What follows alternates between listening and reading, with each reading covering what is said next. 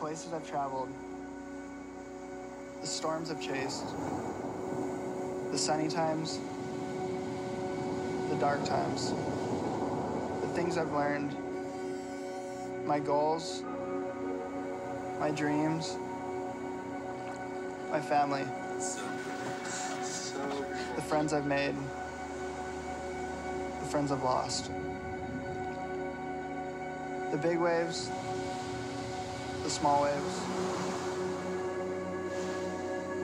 the falls and the makes, the plane rides, the boat rides, the contests I've won, the losses I've had, the bad times, and the good times.